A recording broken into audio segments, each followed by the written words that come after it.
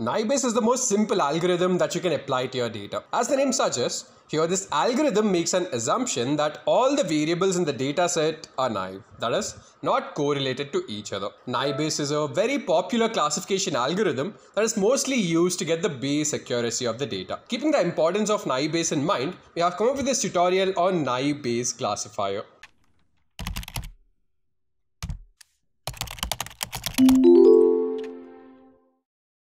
Now, before we go ahead with the session, I'd like to inform you guys that we have launched a completely free platform called as Great Learning Academy, where you have access to free courses such as AI, cloud, and digital marketing.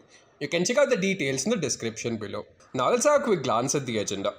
We'll start off by understanding the Bayes theorem, and then we'll have a demo on the Naive-Bayes algorithm. Uh, I think let's start then. Yeah. To wait more because we have uh, so much to cover today. Good. So, um, uh, Raju, you are okay with uh, last week's content, right? The way I dealt with it. Yeah. Oh. the same way, what I will do is um, I will first give you guys because we have missed some. I have missed some sessions with you, uh, you guys, and I just wanted to give you some insights on what exactly happened. So last time, uh, did I talk about what is the overall structure of any analytics, uh, you know, project onto an industry side of it? Did I show you the boxes and all? Nothing, right? So far? No, no. Just no. focused on the linear regression now, right? Okay, good. So now I will just give you an overview and I'll try to cover up as much as possible what we have lost because of our sessions. I could not be with you earlier. Yeah. Okay. So usually on an industry scale, uh, what do we do is uh, the data if we are lucky enough like there are very few projects or there are very few implementations where the data will be static static in the sense the data that you get in csv excel and all these files okay yeah. there are very few uh, people who actually work on a um, always on a static data kind of okay. and majorly the okay. people from let us say from the marketing background or from a pre-sales background or they have a dedicated team where uh, every month redundant they have to do some reporting part of it. At that time we can expect such things to happen. But in the usual case what we do is we fire up the data using the service. So we have got live connection to the server and uh, we are responsible for fetching the data from all the possible locations on the server. The first okay. step that i call or that i classify it is called data gathering yeah. Okay. In this case, we are supposed to gather whatever data we can from multiple sources. So this is a very important step step because uh, let us say you have certain columns on from one. Let, let us say we are talking about Amazon.com. Okay. Yeah. So when uh, when you talk about say uh, the production of the site, so there might be a separate server which is holding all the data. We are talking about warehouse management. There will be a separate data. We are talking about deliveries there'll be a separate server which will be holding the data. We are talking about customer satisfaction. A lot of data has come from different sites. So this is how we should plan and store basically the data into one data set. Yeah. Post that, what we do is we put this into a major cluster, which we call it as data cleaning or data preparation, basically. So here okay. we are supposed to process, first of all, validate the data. So before processing, I will say validate. See, not all data is supposed to go and sit on a machine learning model. Not possible. So initially what we do is we do data validations like we check if the data is scaled, unscaled, if the data has normality, no normality, is are the different columns homoscedastic uh, in the sense uh, uh, if you talk about linear regression okay? So yeah. if in case i'm going to represent a line how many of the points are not going to come on the line? So if i put a line and 99% of the points are outside the line it makes no sense for me to implement this kind of models. So this yeah. is what we do. So i will pick up topics uh, one by one in each of our sessions such a way that we cover everything. Post validation. So once we are confirmed that okay data looks kind of interesting and could be used into one of the machine learning codes uh, post that, uh, okay. Um, hi, Nitish. Can you hear me? I'm sorry, Nitish. Perfect. Yes. So, uh, Nitish, what I'm doing is uh, I'm just giving an overview of what happens on the industry side of uh, data science. Okay. So, there's nothing related to the topic today. So, I'll spend around 10 15 minutes every session on covering up whatever we have missed so far. Something extra okay. from my side. Okay. Fair enough. Thank Good. you. And uh, for today's session, uh, I, we are going to complete Naive-Bayes uh, the theory and practical both part of it Then we are going to touch upon to KNN. We'll complete that because it's a very simple topic. And post that, I will also try to complete SVM also. Okay, so that uh, you guys will be prepared for the videos anyway. I know SVM is going to release next week, but uh, it's good to do it together so that you'll come to know what each algorithm is and even the videos will go very easy. And SVM is little little troublesome. That's what I feel sometimes if we don't get the concepts. So if needed, week we can redo quickly SVM half an hour if in case you people need it. Else we will cover the different topics. Okay. Perfect. so uh, post validation, what we do is we do data cleaning. Okay. So in this data cleaning part of it, if in case you have missing values or if in case you feel some of the values are wrong, because not always you will get a perfect uh, valued uh, no, data frame. So in this case, what do we do is we do all these techniques to make the data suitable to uh, to be used for the implementation. Like the most common problem in the data set is number of zeros or missing values. So for example, if we are talking about a data set and let us say you have got majority of the columns as zeros, what we can do, either we can remove them okay? Or we can impute some other value here. Now the challenge is if we remove it we might lose x percentage of data out of our original data set. Okay so we have to keep this in mind. Secondly if we try to impute a value on that we are imputing x percentage of unknown value to an it might change our data set itself. We are not sure what we are imputing. Even if we have multiple techniques it will never be an accurate value definitely okay. So these this is a very important topic and i'm going to touch up uh, in a very detailed way because not many many people you know have a good exposure onto data cleaning part of it especially missing value replacement and all those stuff. Okay. Post that you have to organize your data. So let us say if you have some rows and columns to be up and down all this part of it. So i call it data organization. So this is a step where you are going to prepare your data for machine learning. Okay post this thing what you do is we put the push the data into machine learning and we you know get the outputs out of this machine learning stuff. Now after this we do a very important step. So usually in the software industry we call it testing. Okay?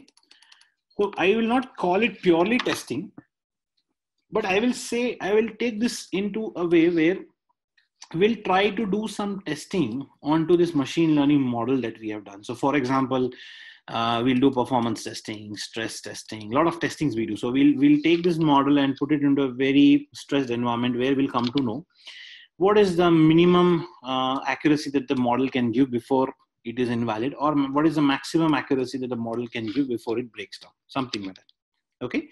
Uh, we call this as feature engineering. So wherein we'll pick up one particular ml which is the best over here and we'll try to you know improvise accuracy over that so we'll try to squeeze the maximum accuracy possible. So for example, in the first run, we would have got an accuracy of say 78%, for example. Okay. Now for feature engineering, what we'll do is we'll try to change the variables in and out such a way that at least we would be able to push this to two or three percent more. So let us say we push this to 81%. This is the goal of feature engineering. And also in this step, we try to understand if in case, just in case there are some features from the data set which are not good for us we'll try to remove them and try to get a better accuracy. So this is like a last minute uh, you know brush up on on on the accuracy part of it. Good. And post that uh, we do visualization reporting production delivery. So a lot of lot of stuff over there which happens after so i'm going to let us say we'll do this type of stuff at the end of our module so that i will show you how to package your python code how you how to attach it onto an you know web link. If in case it is a web interface how do you do that? So a lot of things we can do over here Okay. So so far for my other batches, whatever I've taken so far, is I have covered all these topics one by one, except the last one, which I am supposed to show you in the last session. So what I'll do now is I'll try to every week we'll try to cover some topics in 10, 15 minutes, and I'll I'll try to give you an overview on what happens, so that at least you know, you know the complete picture what what goes around. Okay. Um, uh, Krishna, here uh, this DP what you have shown, na, Hmm. there's only one part it will happen in SQL, right? Uh, no, it has multiple interfaces again. So Okay. SQL stuff ends over here. So once we collect the data and put it into a pandas data frame, no, in data gathering step. Okay, yeah. From server you are getting a data and uh, you are putting into a new. Uh, huh, yeah. And this the second part, the DP part which I showed is nothing but your pandas data frame itself. We are playing around with pandas here. That's it. Oh, okay. We Python only. All the things are Python only. Everything is Python from here. Okay. But where Can you? SQL comes? SQL comes here basically. Uh, while before taking from server or, or once we take it from server? See, SQL is basically a query which we which Python will give it to the server for fetching the data. That's it. So it comes as Uh-huh. the initial part of it. Okay, that means this- getting the uh, data from the server is SQL. Correct. Yes. Okay. Okay. But not always necessary. That's what I was saying. Uh, if you have a static data, yes, you can work on a static data. Static data means Excel, CSV, Yeah.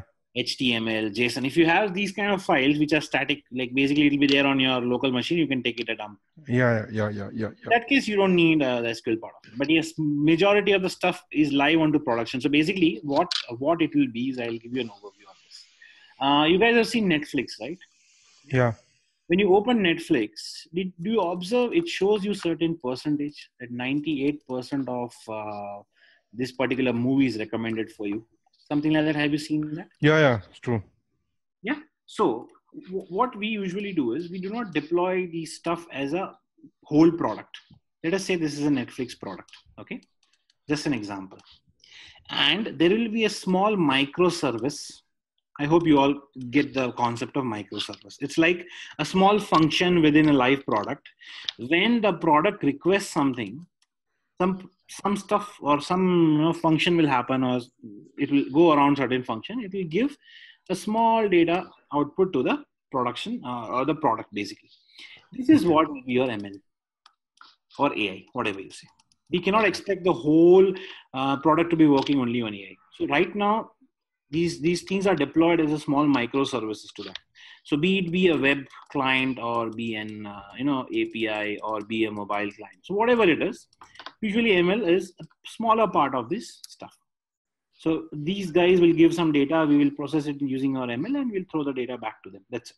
So in this case, yes, live SQL in and out is happening because everything is coming from production.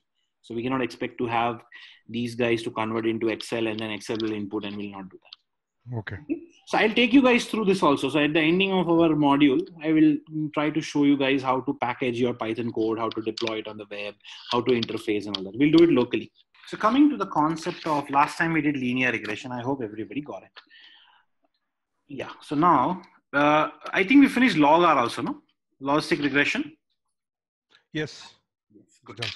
So on the same concept of log R, today we are going to see how, if in case we have exactly two categorical variables, it is one and zero, true and false, yes and no as our target variables. If in case they are exactly two in number, what other techniques we can do? So we can do something called naive Bayes.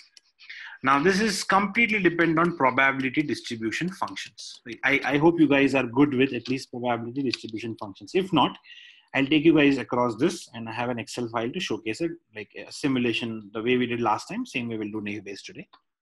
So this is an alternate technique. If in case log R, if you feel is giving a little low accuracy, you can even go ahead and do a naive Post that, we will see a dynamic technique called KNN, K nearest neighbors. So it is one of the most simplest techniques in machine learning. And post that, we are going to see one of the most complex techniques, which is SVM. Okay, I'll give you, if in case we don't get time on this, I'll give you an overview of SVM at least so that the videos that you see will be easy for you guys. And then next week we'll continue on the code. Everybody good with Bayes theorem here? Yes, definitely. so, so the formula looks a little scary, but uh, it's a very simple one. So it's like, uh, think about, uh, let us say you are having, um, let us say, I will tell you, yeah. For example, if there's something happens in US, for example, what happens? The first impact is on IT or stock exchange. And uh, post that, the dramatical impacts are on IT industry and all the related industries. So it's like, what is the probability of IT industry getting hit because of a historical event, let us say the, the crash of the US market, something like that. So if in case you have, if a situation where you have to solve this kind of problems, Bayes theorem will come to help. Now, how do we interpret this particular equation? It's very simple. I'll convert it in the form of a sentence. What is the probability of futuristic event A occurring if uh, event in B, event B has occurred in history or currently, basically? Okay. So, what is this probability if this has already occurred? Now, coming to the right hand side, what is the probability of the current event occurring when this event was occurred. In history, if in his historical data, if US market has crashed and IT industry was impacted, this is what it means. The reverse of the one which we see here. So this is nothing but the machine learning that we do. You remember in linear regression, we found out beta naught, beta one, beta two. That was machine learned. In this case, this is machine learned. This particular term. We call it likelihood function. Okay. Finally, into the probability of the futuristic event divided by the probability of the current event. That's it. This is how you transform Bayes theorem into a sentence. Very simple. Or else, if somebody needs it, you can re remember in the terms of posterior and likelihood. So these two are the, this is the output, this is the this, this is what exactly machine learns basically in our current algorithm. Okay, so at least 50% clear, Bayes theorem. Yeah. If not, if you guys are still confused, do let me know. I will give you some links to some blogs. So I think you can go through. There are some good examples given there. So it'll make better. Okay. Let's simulate a simple uh, Bayes uh, algorithm. It's it's a very simplistic uh, algorithm. So let's let me show you how it works, and then we'll go on to the Python code of it. So for example, let me clean this up. Give me a minute. For example, there is a golf course. Okay, and uh, this particular golf course has to take a decision every day whether to keep it closed depending on the weather or to keep it open. This is the target variable that we are looking at. Now, how do we get this is depending on the data on the left hand side. So the type of day we have got is sunny, overcast or rainy. The temperature that we are currently seeing is either hot, mid or cool, something like that. Humidity is high, normal. Windy, there is no wind that day or probably it's not windy and it is windy. So depending uh, on these features or these characteristics, in past, the golf course has used these options to either keep it open or keep it closed. Now tomorrow, in future, now this golf course basically wants to automate itself. So one day prior to this, uh, let us say tomorrow, if there is a there is a decision to be taken whether to keep it open or not. Probably at uh, evening when they run this simulation, they, the simulation will give them an answer whether to uh, keep it open or closed. That's it, a direct answer. Now, how do we do this? Is very simple. In future, so if this is the combination, if you see here, this is the output. What if, what if I have a combination like this? Let us say today is overcast. Okay, it is hot. Let us say uh, humidity is normal and windy is equal to two. What if I get a weird combination like this, which is not present in anything here? So what is the probability using which I will say that I should keep the golf course open. So what if I try to find out when I combine all these features using this learning, I say that the probability which I found when I keep all these features together, and we found a probability of 0.78. That means 78%. Anything above 50%, we should say it is uh, yes. Anything below 50%, we should say it's no. So this is the aim. This is our final aim using which we will calculate our probability. Okay. Let's see uh, how exactly we can do it. So I know it's a little basic here, but again, uh, it's, it's, it's not necessary to understand the probability table and all, but it will be good if you guys can just, I'll show you one of the tables and rest, I think you can get it. So what I've done is I've built a probability distribution table here, wherein we will count, first of all, what is the probability of being yes. So if I want to say, give me P of yes for play, it'll be, we have nine yeses here. That means we have 9 by 14 because 14 number of total number of data we have. 64% chances are there for this golf course, it will be open and 35% are, uh, it will be closed, kind of uh, overall probability. Now coming to one particular column. So let me calculate the probability of P of D. Okay. Now we have three type of uh, features like uh, variables here, sunny, overcast and rainy. Sunny, overcast, rainy. Total number of sunny occurrences is five, out of which two of them are leading to yeses. So if you see here, this one and this one, if you look at the answer, they are yes. Output is yes. And three of them are tending to be uh, golf course is closed. So now if I want to find out what is the probability of day being sunny and the golf course being open, that is nothing but P of yes. How do I do it? 2 divided by 9. When I do this, I only get 0.2. Similar to that, if you want P no, 3 by 5, that is 0.6. Like that, I do it for overcast. So for overcast, there are four occurrences and all four of them are yes. So no matter what it is, if the day is overcast, the golf course was always open. So I'll say 4 by 9, that is 0.4. So like that, when I calculate the complete probability for this particular row or column, the total I should get yeses as 9 as a verification yes. The total no's I should get 5. That is my verified data. Total probability should be 1. Total probability of no should be 1. So this is what we are going to focus on for our naive-Bayes model.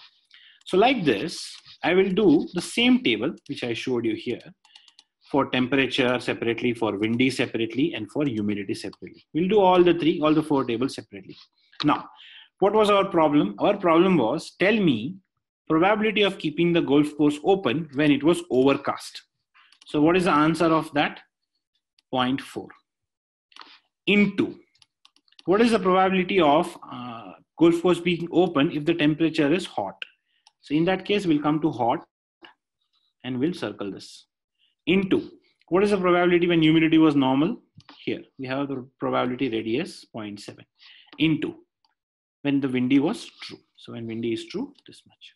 So when you multiply all of them, you will get your naive Bayes classifier. That's it. So when you multiply all four of them, you'll get one final percentage. If the percentage is more than 50%, you say keep the golf course open. If it is less than 50%, obviously should be no. That's how naive Bayes operates. So this was the background of uh, naive Bayes on a very simplistic way. And uh, now let me show you how exactly we do it on the same data set I have taken. So um, uh, guys, uh, for the coding part, you want me to explain line by line or are we good with it? Like the way we did last time? Yeah, we are we are good with that. And one one question, Krishna, you know, like uh, we have seen in the Excel Mhm. uh, different you know uh, variables, and uh, finally we are coming to know like if it is less than fifty percent zero and more than fifty percent one. Mhm. In day, in a regular day activity, we are working on this Excel or we are on Python. We are on Python. We'll be working on Python, but this is what happens on the back end of Excel when we call our naive Bayes classifier. So let me show you the classifier. If we look at this particular classifier, if you see Yeah. here, Yeah. this naive Bayes classifier is what is nothing but a small function which the developer has written so whenever you want it you can call the function so when we call the function and we deliver the values so if you remember what we do is we put naive dot fit and then we give the training data so the training data will go in and using the training data all the tables that i showed you here will be built up all these tables will be built up in, in the back end of there uh, the function will reply accordingly so this was just to show you that this happens on the back end, not on the Excel file, definitely. Okay, perfect, guys. Thank you. So now let me show you one simple example. So pandas numpy as it is, uh, sklearn pre-processing imputer. So we are going to you know, change some of the values. So if you see here in our data set, uh, we have got almost all of them are categorical variables. Yeah there are no numbers here. So we are supposed to convert them into numbers. So that was the first thing. That's the reason we use the pre-processing imputer and the pre-processing function. Post that, uh, train test split, and then we are going to call our Gaussian naive Bayes. Gaussian in the sense, uh, uh, it, it is almost inclined towards normality and all this concept. That's why we call it Gaussian. But again, it's a user-defined function, so you don't have to worry about it.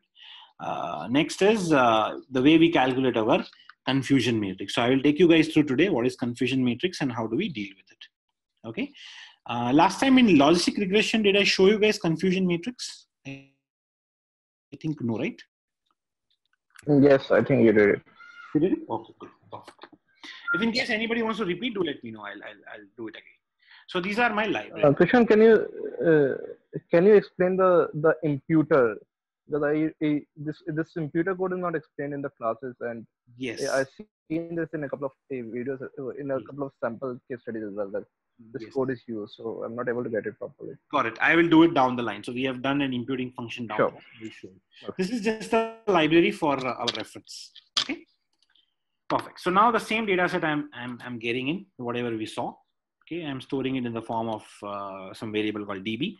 And when I generate it, this is how I get it. And this is my target variable. These are my independent variables. Uh, I'm checking if in case there is a missing value. So for that is null. So I usually call it if null.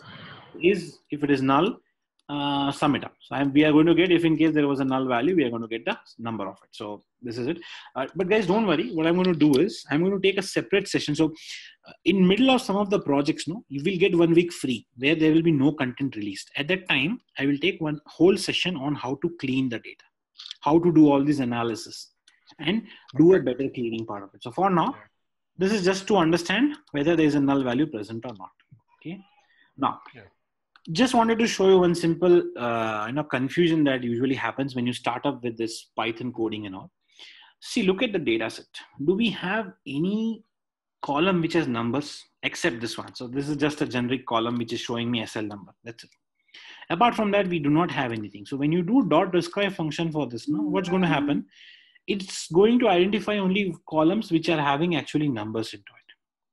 So here by mistake if we didn't if we do not remove this column what's going to happen? The describe function is showing me some junk value which is not needed. But if this was not there the describe function will show me nothing. Why? Because it does not understand categories. So be very careful. If you want dot describe function to be working perfectly we have to convert these into category uh, continuous numbers. So now we will do that. So for that what i'm doing is i'm calling the imputer function. Okay? Now the library's name is called pre-processing and the name of the function is called label encoder. So what do we do in this label encoding is we call this function and Python, what it does is Python gives zeros and ones, how many categories we have. So if I go up again, we go to the data set. So let me go here itself. So for, if we take the example of this, yeah. So alphabetically let us say which comes first sunny overcast or rainy? I think overcast comes first. So overcast will get a value 0 uh, pqrs so this will get rainy will get the value 1 and sunnies will get the value 2 so we are going to replace all these by 0 ones and 2s correct? So rather than using uh, categorical data now my intention is to convert every data that we have in the form of numbers. So for that we use label encoder. Very simple okay. So now i'm calling my le which is nothing but my label encoder and i'm fitting transforming my each and every column that has uh, categorical variables to some kind of lists over here. And post that what i'm going to do is i'm going to transform the list as a separate column. So this is called column imputation where the original data set is only this much. Now i'm creating my new columns called uh, day con, concaten uh, categorical, temporal, categorical, humidity, windy, play area, something like that. So we have got the right hand side is full of numbers, the left hand side is full of categories. Okay. Now, if you observe the same data div we have got here. Now, what is my intention is my intention is to remove them because I don't need them anymore because I have got a very good numbered data frame ready. So what do I do is I use some variable. Uh, okay, one minute. I use some variable called dummies field, for example, and then I say, these are my columns. Okay, please drop them. That's it. Very simple. Give me a minute, I'll change the color. It's not good. So drop what? Drop all the dummies fields and axis is equal to one. That means I'm referring to columns. Okay, good. And guys, do you know the in place function here? In drop? In place is Yeah. True. you know right? So be very careful if you are re-imputing your original data set if this was not there on the left hand side. If you are imputing on the same thing do in place is equal to true. Is going to work. If you don't do in place is equal to true visually the rows will be removed but actually on the back end on the memory side rows will be there. But if in case you are overwriting your uh, thing like with an assignment then no problem. You don't need in place function at all here Good. So now moving on, this is how my data set looks like. We are ready to go on to uh, machine learning. So till this stage, we did data preparation. So the data is ready to move on. Next step, we have to split between our independent variables and a dependent variable. So this top 0, 1, 2, 3 are my independent and the fourth one is my dependent one. Okay. So once I do that, uh, next we are going to split it into training and testing data. So usually we do 70-30 split and uh, random state. If I, if you ask me how do you, uh, so guys, we know this, right? What is random state? How do we choose it? Yes or no? Yes, yes, yes. Yes, good. So I, my suggestion is keep this random state below 10% of the whole data set size. Then this is going to be very good. because randomly we are choosing the data. So if you if you give a huge number, then uh, there are sometimes chances of biasing the data. Okay? So usually, if uh, if for this case the data size is 14, right? For example, it should be around one random state. So do it like that. Else, even if you put whatever, it's not going to make much difference. But yes, uh, I feel sometimes it, it makes a little difference in bias. it, it doesn't matter the uh, what is the number we get to random state because in the videos they told me that it doesn't matter uh, what is Yes. the number of random state is Correct. as long as it's some number. Exactly right. But what does random state do is random state will pick up, if you say 10, it will pick 10 consecutive values at one time and put it into the training data set. So there are chances that the consecutive values are kind of similar. So when we try to push similar value, let us say it was 100 in the in other case. So we are getting 100 consecutive values at a time. So there are chances that we are bringing some kind of biasing. That's why I said you can make it around 10% of your whole data set. Okay, not more than that at least. I have seen some of sometimes people use one, two, three, four also randomly. They choose anything they like. Okay, see, you are right. It doesn't matter much, but if you want a little more precise answer and if you want to be a little cautious about biasing, better do follow this step. Okay. Perfect. So moving on. Now what I'm doing, I'm calling my Gaussian naive-Bayes classifier. I'm storing uh, my own model as CLF. Then I'm fitting the model onto my training data. Good. Once we do that, we are uh, predicting Y. So for that, we are calling the same model from above. Why? Because it is machine learned. We are predicting on our testing data. And finally, using the predicted value Y and the original value of Y test, this is the actual data set value. This is my predicted value. When I subtract or when I find a score between these two, I get an accuracy of 100%, which I feel is a little over the top. Why? Please remember one thing whenever in these machine learning models, when you get a very high accuracy, no, you be a little cautious because it'll perform very good on a known environment. Known environment means the X train and X, uh, the X and Y data that we have currently. Tomorrow, when you change the production data itself, a new data comes in, this might not be the case. This is what is observed usually. We call it overfitting. So we are going to discuss something like decision tree, ensemble, you know, at that time we will bring back this concept. So for now, you don't have to worry about overfitting part of it. So here accuracy is 100% is very good. I'll tell you why. The only reason accuracy is very good because there are only 14 number of columns. That's the reason because there is there's no much challenge over here. Okay, good. So anything more than 75, I feel is a good accuracy. Not bad. Anything more than 90 is the best. Now moving on, I'm bringing a futuristic data. So usually I don't stop at this. In your codes, you would have seen we stop at this. That's it. Just to check how it works out end to end, I am bringing a futuristic data. This is how my future data looks like. Now, whatever data you have, be very careful. The number of columns and the variety of the columns that you have should be exactly same as the one you have trained your model onto, except the target column. Okay. See, if you see here, the target column is missing.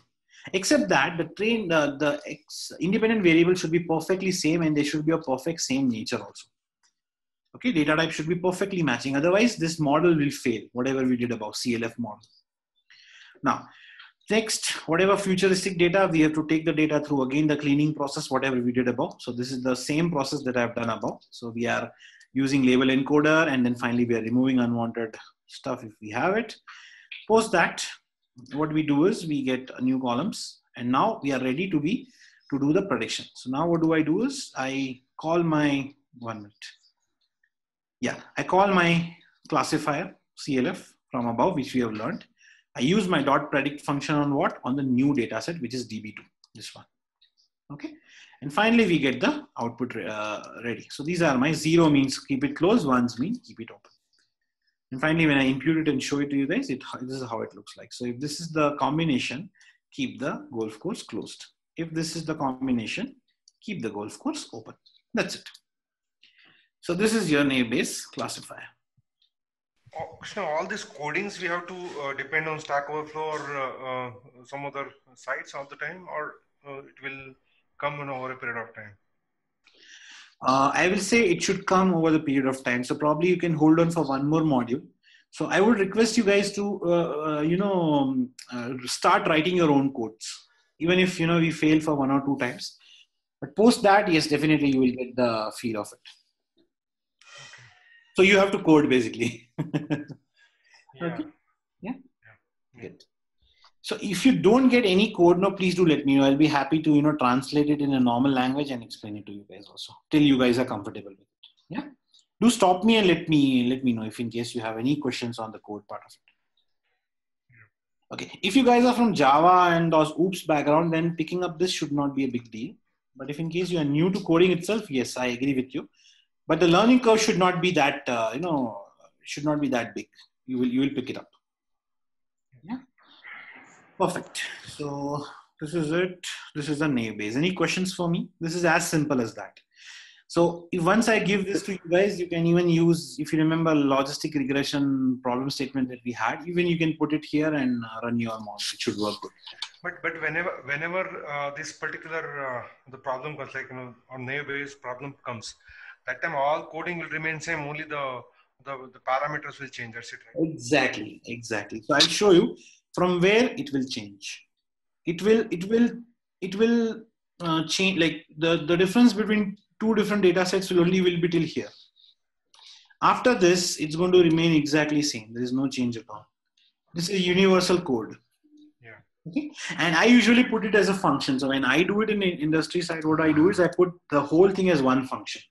So I have got a small box lying in some part of my server as a microservice. When I split my data, and when I you know split my data in X and Y and uh, train and test, I give that to this service called naive Bayes, and the standard code will do all the calculation and throw an output to me as a score. That's it. Okay. So whatever we do outside this is data cleaning, data preparation. Yes, it will be different for different different uh, data sets. Yeah. Perfect.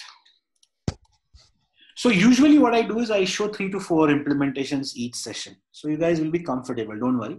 We'll hold on for one or two sessions. You guys will become little comfortable with the coding part also. Yeah. Thank you. Perfect. You were uh, explaining the imputer code. Yes.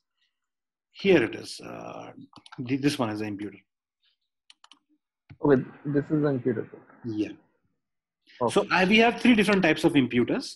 One is called uh, d- dot dummies function. One is called label encoder, and one is called dot replace function. Today I will show you all three of them in different different codes. Okay. Okay. Perfect. So the purpose of this imputer code is just to convert our categorical variables into continuous variables. That's it.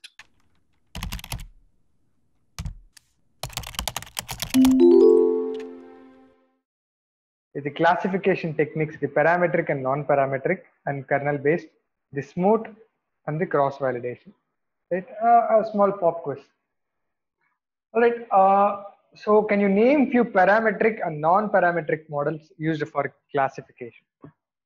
Parametric is uh, naive Bayes discriminant analysis and logistic. Okay. Mhm. Non-parametric is tree, decision Mhm. tree, uh, random forest, Mhm. gradient boot. Gradient boosting. And the SVM also you can put it as a non-parametric. SVM is also a non-parametric model. All right. So, what is the concept of an? Uh, what is the concept? Which concept is the base for a naive Bayes? Bayes theorem. Bayes theorem is the base concept of the naive Bayes algorithm that we are going to use. Name any kernel based model used for classification. SVM. SVM, the support vector machine. All right. So with that, we'll see compare between what is a parametric and what is a non-parametric. So what is parametric model uh, in the terms whatever you have learned? What is a parametric model? There's a formula. When there is a formula, we call that as a parametric model. If any algorithm learns by a predefined that formula, they map the mapped function, that you call it as a parametric. This is the proper definition that we have to get it like. Any algorithm learns by its predefined mapped function, we call that algorithm as a parametric. For example, y is equal to b naught plus beta 1 into x. The simple linear regression is a parametric, is an example of a parametric model. All right. So, uh, for example, if it does not follow a linear distribution, what kind of transformations will you use?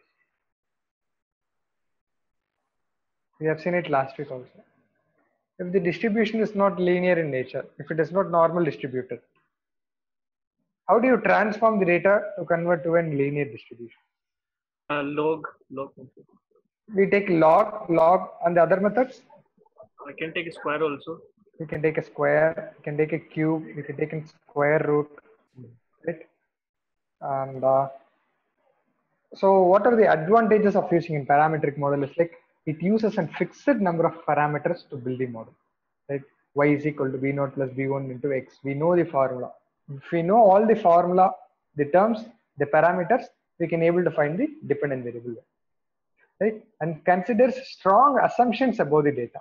The assumptions is like the variances must be equal in nature, the homoscedasticity and uh, the normal distribution. All those assumptions are seen in the parametric model. And it's computationally faster, right? Since we are going to plug it into the predefined formula and we are going to get the result. Even with the lesser data, the parametric model is going to work out. And uh, the examples for a parametric model are the logistic regression and the naive Bayes model. And what about the non-parametric model? What is a non-parametric model in your language, simple language? And I'll tell you The some process based. Which is a process based. So it does not make any assumptions regarding the uh, the mapped function. There is no mapped function here, right? and there is no mathematical function involved in the non-parametric model. Right? There are no assumptions here. Alright, free to learn from the training data set. It is flexible number of parameters to build the model. Right. For example, uh, if I'm going to take the KNN, the decision trees, the the naive Bayes, the SVM neural networks, we call all these models as non-parametric models. Why non-parametric? Because in KNN, K nearest neighbor, we are not going to use any formula. Right. I'm going to take a feature vector and uh, I'm going to select K size whatever the variables are near to it, highest variable, I'm going to give that as my decision variable, decision vector. Right? There is no formula involved, right?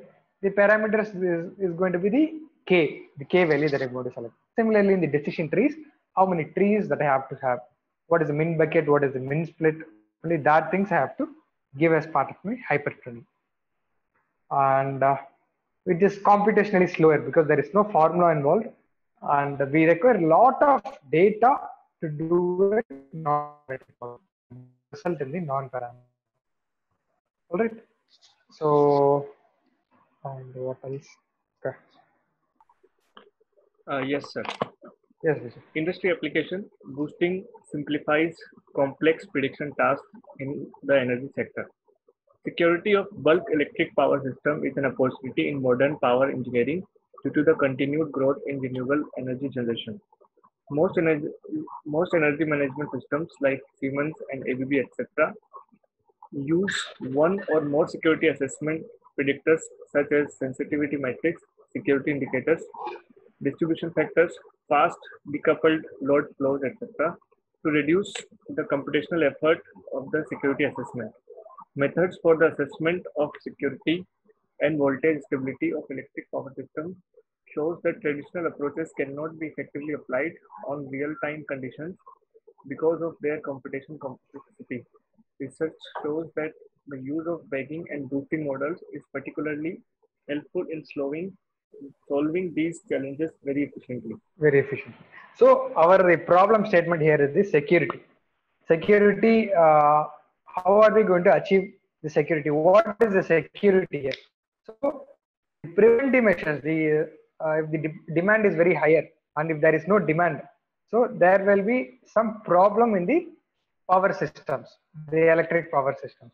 So we need to have some preventive control actions and emergency control actions after the disturbances. We can uh, read this using the reference. So what these people have done is they've taken the data variables such as the voltage variables, the voltages, power flow, the loads for each and every time, and they've calculated what is the security index for the forthcoming time. Right? So what will the uh, security index? They've given the security index as uh, some zero, normal state, alarm state, some emergency state. They have given. One second, I'll show that. the normal state, alarm state, emergency one state, emergency two state, based on the SA, the security index. How did they calculate the security index? By taking number of variables such as the voltages, what is the power flows, what is the loads for each and every area.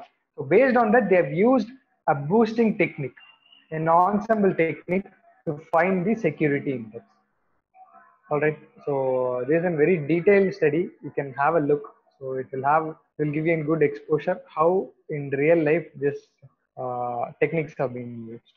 And another example, a boosting techniques for tumor detection. All right. So here, uh, let me just brief you uh, before reading into the case study and all. So what they have done is, they want to identify the tumor, right? Manual inspection of those images is a tedious job, right? Where in the image, whatever we have received, where is the tumor present and where is the tumor not? So the manual inspection of those images is a tedious job as the amount of data and the minute details are hard to recognize by the humans and often lacks calibration right and it varies from individual to individual there is there is a chance of flaws to happen in the manual ins- inspection so what they have done they have taken the number of images and they have built and boosting techniques right? From the boosting techniques what is the possibility what is the propensity score for x or y patient to get a tumor from the images right? And they're giving the possible percentages. So these are the two real-time examples just an industry application. So we are doing with sample data where have they used in the real time uh, that question may arise so we have to put some two industry applications. So please read this industry application. If you cannot get in paper and discuss it. It is a very lengthy approach right? I cannot explain it here. And a case study that we are going to look at today uh, is an US heart patient case study, right? So 5 million Americans are currently living with heart diseases. And the numbers expected to rise.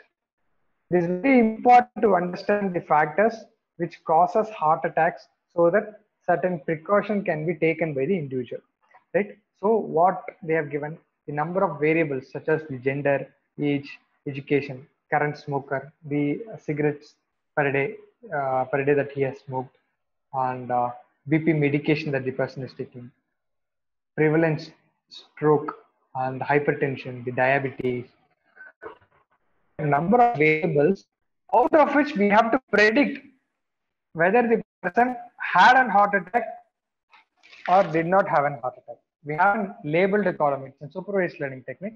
Based on all this data, when a new data point comes in, we have to predict that the person will have a heart attack, will not have a heart attack, and what is the propensity score for it. All right. So this is a classification model technique. So what is the purpose of doing this is like you'll have an idea of all the models, all the possible models. Uh, I'm not telling all the possible models, all the possible models, what we are learning as part of this program. And uh, the data dictionary gives like the attributes gender is the male female age of a person education right based on that we want to identify the dependent variable one whether the person suffered from heart attack zero indicates uh, that the person will not suffer from heart attack all right going to the uh, python file so this is a very detailed python file so that is the reason I don't want to waste time and other explaining the parametric, non-parametric in detail. So whenever we're going to look at each and every model, I'll give you one small overview about each every model. Right? If we go into random forest, what does random forest mean? What does a decision tree mean? What does a KNN model mean? We'll discuss that as we execute the uh, Python file. All right, is it okay? Shall I move to the Python file? Do you have any Yes, doubts sir. so far? Yes, sir. So please open the Python file along with me. We have a lot of time. So we'll make sure that we work along and uh, clarify all the doubts. Um, right, and I'm importing the data, US heart patients and the exploratory data analysis. analysis. So hit command, the shape, is going to give me the number of rows, the records, and the number of variables. 16 variables are present, including the dependent variable, the heart attack. And the number of rows, the records are 4,240. So, how do you identify the uh, the data types and data features? Info, info. df dot info. Right. So what is the problem here? The gender is an object, age is an float, that's a numerical. Education here is an actually it's an object, it's a factor. It is an uh, ordinal data. It's a categorical data. But since it is a number, Python by itself it's taking it as a float. So we have to convert that to an ordinal data. okay and then uh, the current smoker whether he is a smoker or not a smoker and uh, the cigarettes smoked per day and uh, the diabetes whether the person has diabetes or he does not have a diabetes it's again an categorical data the hyper uh, prevalent hypertension is also an categorical data prevalent stroke is also in categorical data so the numerical data here is the age column, the total cholesterol, the systolic blood pressure and the diastolic blood pressure and the BMI and heart rate and glucose.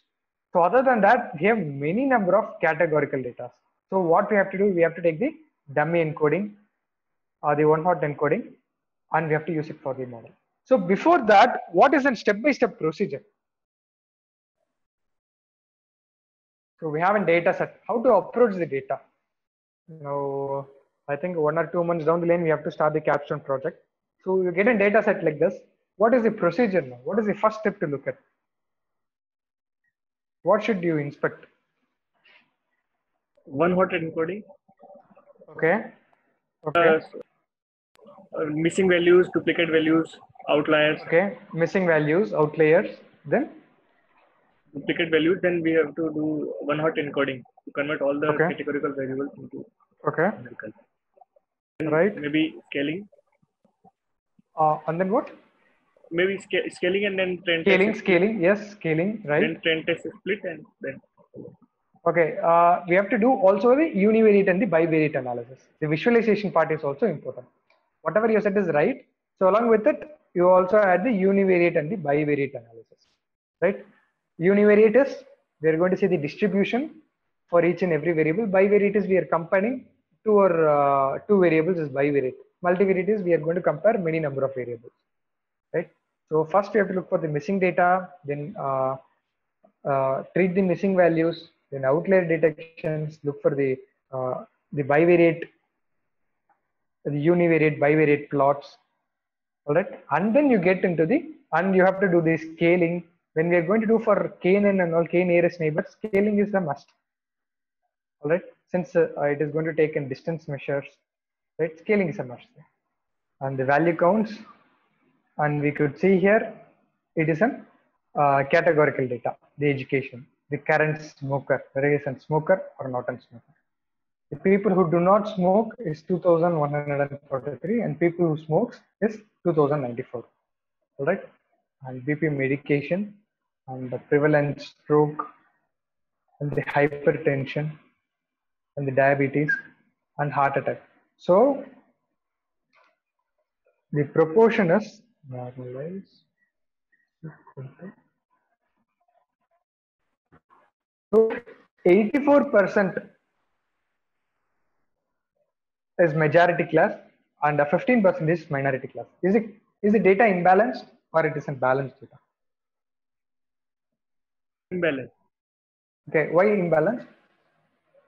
Four is uh, big number as compared to 15. Okay, so in perfect balance it is 50-50. 50-50 is not going to happen, right? So it's always as a rule of thumb greater than 20 to 25 percentage. It's uh, some okay, okay. It's somewhat an okay balanced data. If you want to verify, we have to also use some SMOTE technique. And if the accuracy improves, then we have to go again with the SMOTE technique only, right? Do not work with the imbalanced data. However, you're going to train and uh, tune the hyperparameters, it is not going to affect. All right. So uh, change the data types of the seven features. The seven features, the seven features which I wanted to tell is the education, is a current smoker. So the categorical variables. All right. The cigarette smokes per day is a numerical, and the BP medication, the prevalent, uh, stroke, hypertension, and the diabetes, and heart attack. So these variables are all categorical in nature, which are uh, given as integers and floats, numerical. Sir, So gender will also be into that, right? Okay, gender is already gender is already yeah gender is already taken it as an object. So since these are all numbers in nature right? So python has taken it as uh, numerical data. Right so what i'm giving it as? Cat categorical is nothing but the education education current and the BP medication, prevalent stroke, and the prevalent hypertension. Whether the person has diabetes and uh, total cholesterol, not systolic, diastolic, BMI, heart rate, glucose, and uh, one, two, three, four, five, six, and heart attack. So a simple for loop. So how do we do it?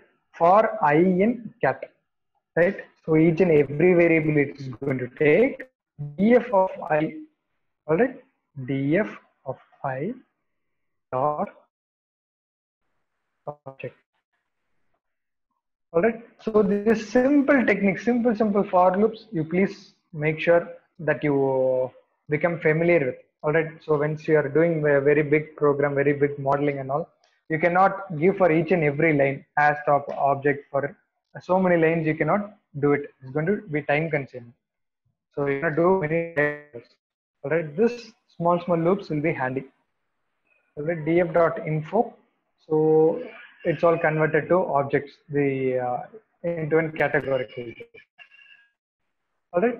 So making a different list for the categorical columns and numerical columns. So what we have done here, I've created two dummy lists, cat and uh, NUS numerical.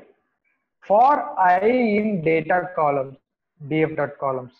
For each and every column name, if the column type is object, append it to the cat is equal to that uh, cat list.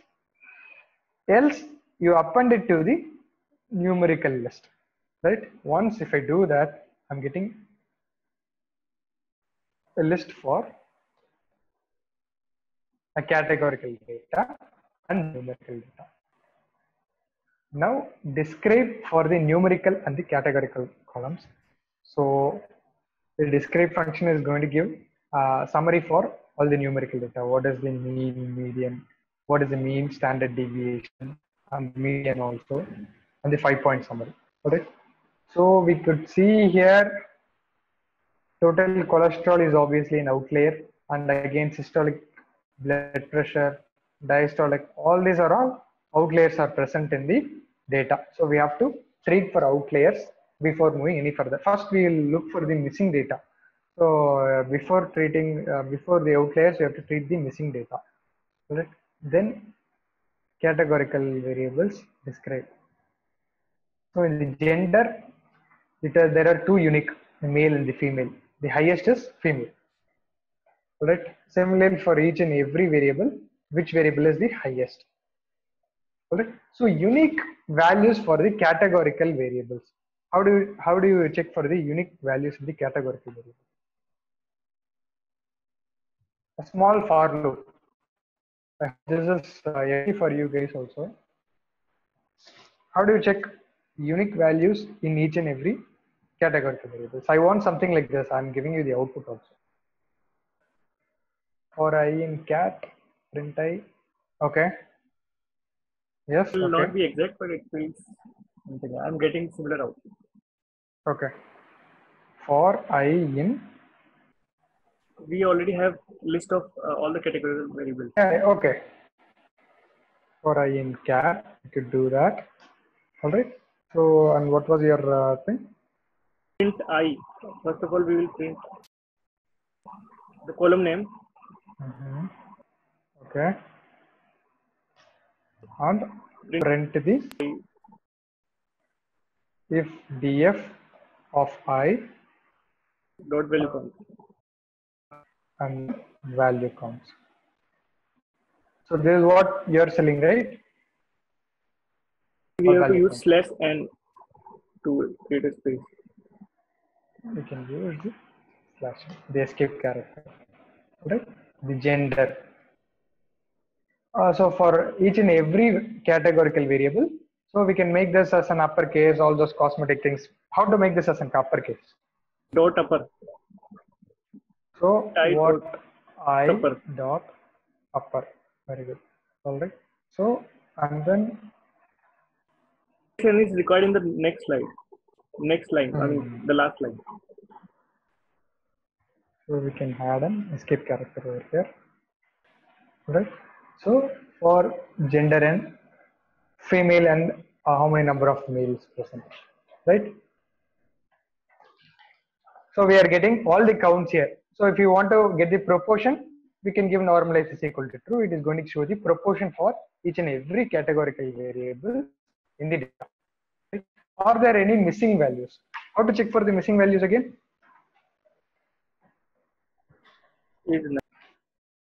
So df dot is an a uh, dot sum is going to show me all the missing values present in the data. So I'm going to treat here the missing values with for the, all the categorical data. I'm going to treat it with the mode, right? And for the numerical data, if it is normally distributed, I'll go with mean. If there are outliers present, I'll go with the median. This is a very naive approach, but still we'll go ahead with it. All right. So as we get progresses, uh, we'll see how to treat the missing values with KNN, K nearest neighbor. That is a very, that algorithm is mostly used for the treatment of the missing values. Right? And uh, all independent variables having the missing values, check for any, okay, how to check for the duplicate records. We check df dot duplicated, duplicated right so here it is defined as dupes right? So therefore there are no duplicated record. Here present all right so uh, to save time all these things are given it already. Rename this column as without space and if there is space give it as an underscore. All right the systolic blood pressure give underscore diastolic give underscore. All right and uh, impute the missing values with the next possible option right? The mode for gender female. I'm going to treat the missing value for uh, the gender. We have eight missing value in gender. So i'm going to treat all the variables with female. All right and for the age age there is uh, no outlier present. Therefore i'm going going ahead and uh, treating the missing value with the mean value right. So fillna why it is 48 i don't know why did i give us 48 okay. We'll go ahead with the mean value 49.57 we need object variables in a loop using the mode right for all the categorical data education the current smoker bp meds and the prevalence of hypertension i have whatever it is present all the categorical data if there is missing value treat it with the mode right? And the mode returns as in two values right? So you take the first one. That's what they are giving it here. And it's all treated.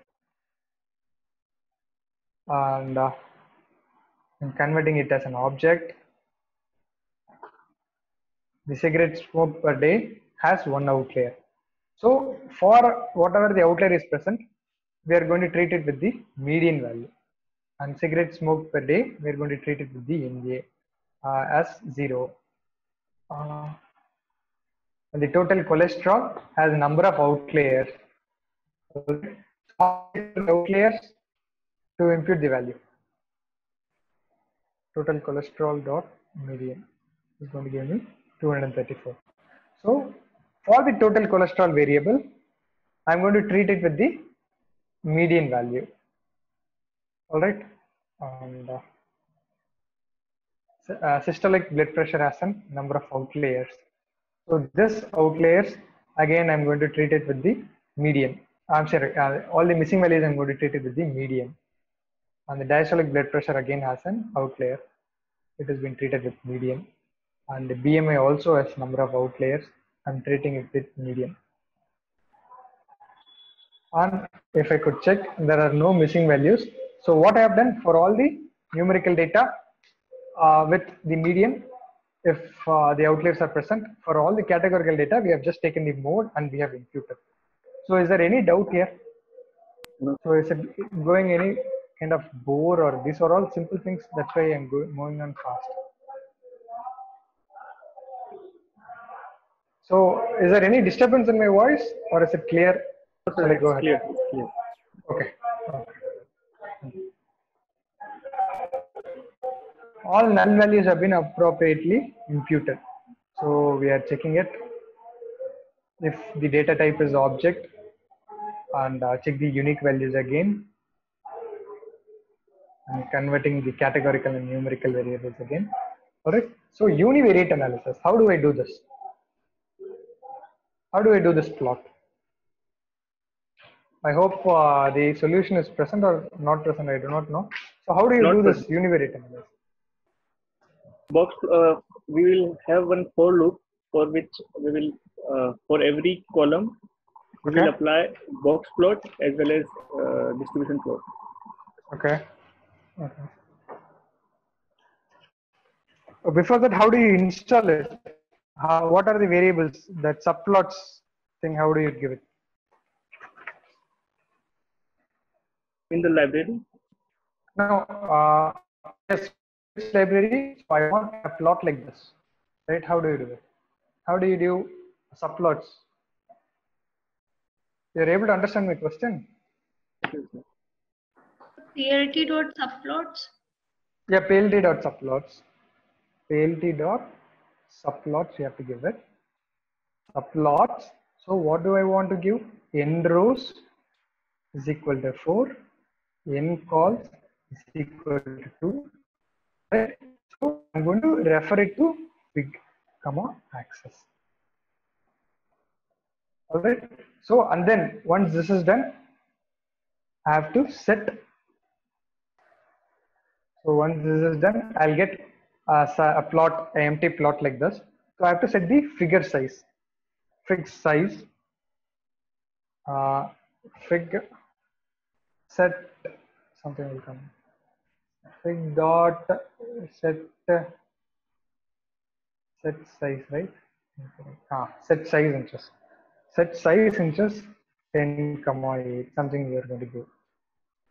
Alright, now I've gotten now I'm getting in bigger plot. Now I want a disk plot. What is this plot called as? histogram So disk plot. Sorry? Disk plot. plot. Disk plot and the disk plot is present in this Seaborn. SNS. Okay, Seaborn. So I'm giving just a, variable name SNS disk plot disk plot df of what do I want? Age. Okay, I want age and uh, how do you give the accesses? ax is equal to axes ax yes axes of zero. All right, I'm getting in disk plot over here. So I can make it even more bigger. Right, okay, x-axis is becoming bigger. For the age, SNS dot box plot. SNS dot box plot df of age ax is equal to ax. Yes, axis you have to refer the axis 0, comma 1. Alright. Then that's done. So how do you give the here? Just for one thing, we'll do it and then I'll copy paste from the solution file. How do you set the title for any seaborn? Set title. Uh, set title. So I have to refer it a dot set title. Set title. Uh, what age? Age distribution something. Distribution. Alright. So I can give an font size also for this. Uh, I think I can give it. Font size is equal to some 10, something. Alright, so you're getting age distribution. Similarly, you can set title for this age distribution box plot, some name of your choice. Age distribution block. Alright, so uh, similarly, you can plot for all the variables. You can plot for the cigarettes per day distribution. So, all right, then wh- what is the thing that you have to do if you have to refer to this axis? I'm just going to copy paste the same thing. If I want to refer to, so it is going to be 1 comma 0. If I'm going to refer to this plot 1 comma 1, then it is 2 comma 0 and it is 2 comma 1. All right, so I'm going to change the referral axis so that you can create beautiful subplot. So this could be a very handy technique when you're going to submit your capstone reports and all. All right, instead of taking many plots, so you'll be given a constraint for each and every capstone project. You have to submit your project notes within five to six pages, right? So if you're going to plot it individually, right? So you'll be wasting a lot of spaces in the pages, right? Other than that, if you could uh, use three or four subplots, right? You could uh, you can show it very beautiful plot. You could add colors and uh, give titles. It will be visually pleasing, and you can get marks for that also. Then uh, the other plot is similarly. I've given the fig and the axis, the diastolic blood pressure, uh, the BMI, the heart rate, the glucose, everything. I'm going to check the univariate. So what we could see here is there are outliers present in the diastolic and the BMI has an outlier you can see the skewness already present. Heart rate also has an uh, skewed data. It's it also has an outliers and glucose has also an outliers. So we have to treat the outliers before we are going to enter the model. Right? So right. the strip plot is again another beautiful plot. Right. Last time we have seen it comparing with the dependent variable to the independent variable. The strip plot gives a very visually pleasing plot. Right. You could also use a scatter plot. Scatter plot is also a very good plot. It's uh, uh, recognized worldwide. Whenever you're going to do any model, scatter plot is a must. Scatter plot is de facto. Scatter plot and box plot will give in very good representation. Here we are going to use a strip plot comparison between the age and the heart attack. Already, the younger people have less probability of heart attack. This pattern is uh, visible. However, the probability of heart attack is uh, low even for the old age people as per the above strip plot. That the inference, whatever the plot that you're going to make, gives an inference of plot. Doing the heavy lifting of all the codings, the inference is what it matters. And the strip plot between the heart attack and the cigarette smoke per day. Right, and uh, there is some uh, different thing. The people who did not get a heart attack got say smoked more cigarettes per day. So probably they'll get heart attacks in sometime near future or something like that. With the data that we have, uh, lesser probability of heart attack, less count of cigarettes per day. These people got a heart attack and uh, cigarettes smoked per day is higher. It is counterintuitive. Alright. However, the data set has records wherein the probability of heart attack is zero and uh, total count cigarettes per day is quite high. So in this data, what we have is the people who did not smoke. Alright, uh, the people who smoked a lot did not get heart attack. Right. So maybe the sampling of the data is not perfect enough. I'm not commenting about that, but that's the observation from the data. The heart attack and the total cholesterol level. Alright, and uh, it's somewhat equal here. And the heart attack and the systolic blood pressure. The people who had heart attack had somewhat marginally higher blood pressure compared to people who did not have heart attack. And the diastolic blood pressure, uh, marginally again, uh, it's more or less same for the people who did not get heart attack and people who got a heart attack. The BMI and heart attack. Already we could see uh, the BMI of the people who had an heart attack is marginally higher comparison to people who did not get a heart attack. and the heart attack and the heart rate. Heart rate, people who did not get a heart attack, the heart rate is higher in comparison, in contrast to the people who got heart attack. All right, so we are comparing for uh, again one more last the heart attack and the glucose level. The higher value of glucose, higher chances of attack. So these are the observations that we have uh, got from the strip plot. Right, the correlation plot. Right, how do you use the correlation here? Right, we- Well, let's get into the model and uh, I'll keep explaining what all the modeling things. These are all the basic things that we have seen so far. So it's going in monotone discussion. So what is the command to check for the correlation? Okay, so SNS dot heat map, right? heat map of or wherever annotation is equal to true. Right? So there is a clear correlation between the systolic blood pressure and the diastolic blood pressure. The systolic blood pressure and the diastolic blood pressure are highly correlated. One of them should be would be dropped. So we are dropping in systolic blood pressure here. And I'm clicking correlation So there is no correlation between any other variables. It's good for modeling. And then pair plot. All right. So the cigarette smoked per day. So as we have seen in the strip, triple counterintuitive, and uh, the heart rate is somewhat normally distributed. It has two layers. Alright, so Let's go ahead and get the dummy for all the data and start the modeling. And check outliers. Outliers are present for glucose, heart rate, BMI, blood pressure, the total cholesterol. So all has an outliers. So the outlier treatment, as we have known, or a uh, traditional way old technique, the quartile 1, then quartile 3 and taking the 25th percentile and 75th percentile and I'm treating the outliers, right? So I'm writing, I'm writing a function here, right? I'm writing a function to remove the outliers for whatever the variable that I'm getting. First of all, sort it and give the 25th percentile and give the 75th percentile and the interquartile range is given by Q3 minus Q1 and I'm getting the lower range and the upper range and it returns the lower range and upper range to wherever the function has been called. Is there any doubt in this function guys? Any doubt? Isma? Jafar? Jafar, you're there? No, sir.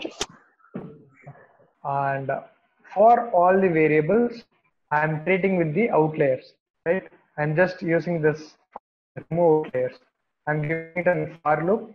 So for each and every column, it goes to the for loop and it treats the outliers, right? Whatever the value is upper, uh, greater than the upper, treated with the UR, else df dot column is in where function from the numpy where function. Where function, what it uh, does is something like if it is greater, treat it with UR, else give the same value. If it is less than the lower range, I give it with the lower range the value, or else give the same value.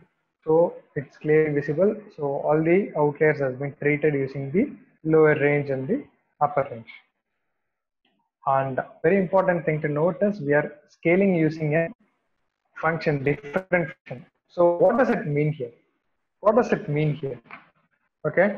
Max function. Lambda x function is okay. What kind of scaling am I doing here? I want the name of the scaling. Mean we know max, standardization.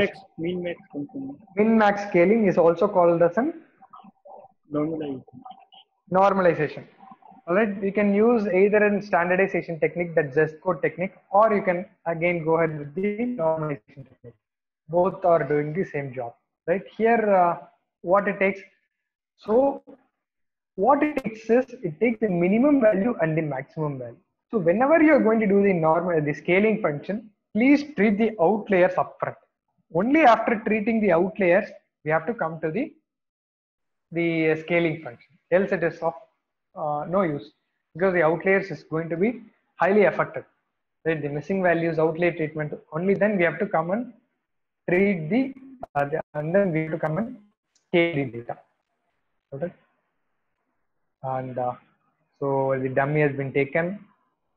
Got it? And then train and.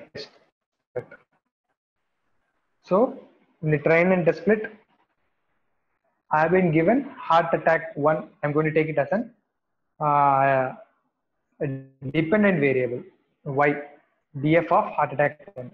So in the attack one, all right, all the other variables are my independent variables. I'm giving it as an x variable. And I'm splitting the data into 75 into 25%, 75%, 25% for the training and testing using the train test split function. And I'm coming with the naive Bayes model. All right, now what does a naive Bayes model do? What is the basis of a naive Bayes model? What is the basis of a naive Bayes model? Bayes theorem. Bayes theorem. So what does the Bayes theorem do for, uh, how does Bayes theorem work in the naive Bayes model? We try to predict the presence of uh, an outcome based on presence of one parameter. okay. For each and every parameter, the presence of outcome, what you are told is right. The outcome is heart attack. So presence of each and every variable. So giving gender male, right? Giving gender male, what is the possibility? What is the probability of the person getting heart attack? All right. So we are going to use two probability. What is that? We are going to use uh, a priori probability and then posterior probability. All right. For example, people who had heart attack. What is it? What is the total value? It is 4240. The people who had heart attack is 644. 600 and the probability of heart attack is given by a priori probability. Yes, probability of S is given by 644 divided by 4240. Right? So probability of no is the opposite 1 minus 644 divided by 4240. All right. So individual probabilities with respect to heart attack. For example, I'm going to take education. Education has one, two, three, and four. Right. And I'm going to filter the education out of in the education one. How many people had heart attack given? All right. That is how we are going to look for the conditional probability. Education one education 1 given heart attack. All right. So the education 1 has a total record of uh, education 1 has a total record of 322 divided by what do you get as a denominator? What do you get as a denominator? Yes. So given education 1 people had heart attack is 322 out of the total people who had heart attack. Given the total people who had heart attack, 322 divided by 644. That is what a conditional probability. Probability of X. In the probability of no, out of people who get heart attack, how many people who did not get heart attack? People who have, who did not get heart attack is 3596. 3596 given education 1 how many number?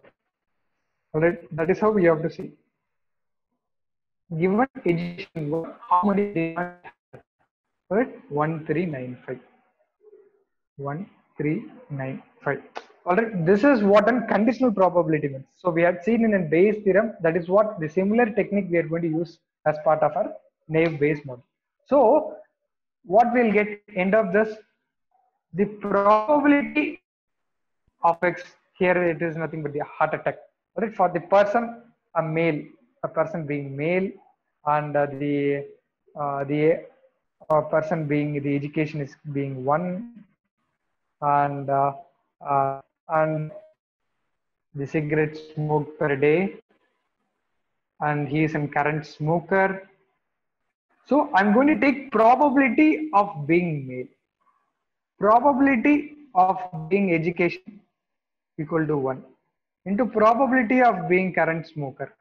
Right? I'm going to calculate all the probability values and the probability is the possibility of that particular record getting heart attack or not getting it. Is that clear? Any doubt here? So a small confusion we had made. So is there any is it clear or is there any doubt? All right. So now i have a question. I have said for a categorical variable what about the numerical variable like age or numerical variable like total cholesterol? How do you calculate the total probability here? Any idea guys? Isma monica any any any idea how do you calculate the probability for a numerical data? So i suppose all these are covered in your video right Mathematical I part can- was not covered. Okay. Okay. So how do you calculate for a numerical data? It's nothing going to take the formula for a normal distribution. All right. What is the formula for a normal distribution? f of x is given by what is the formula for a normal distribution? Any idea? If you could recollect. 1 divided by sigma 2 pi. All right e power i think we didn't see this so that you may not know this. Divided by the 2 sigma square. I think i'm right. 1 divided by sigma into root 2 pi e power minus x minus mu the whole square divided by 2 sigma square. So for the value whatever i give if i plug in the value of uh, uh, the standard deviation and the uh, the mean value and the record whatever the x value the f of x is nothing but it is going to give me a probability value. All right that probability value i'm going to add here into the probability of what is the particular person's age. All right since it is a numerical data i'm going to use the normal distribution function f of x and that value is going to be added here. All right so all these things it does it automatically the naive bayes theorem the model is algorithm is going to do it automatically. So in brief idea what does a model do inside uh, the python? Right so how do you call the uh, naive bayes model? So what are the applications of the naive bayes any idea? Where is it widely used? It is widely used in credit scoring right? Multi-class prediction is used. Very important uses the text classification whether it is in spam or not in spam. Sentiment analysis right?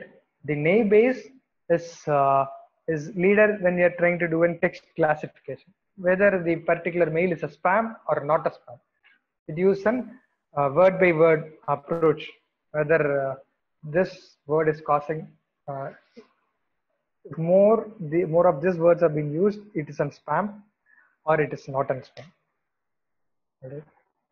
So the library is sklearn naive bayes i'm going to import gaussian in the right?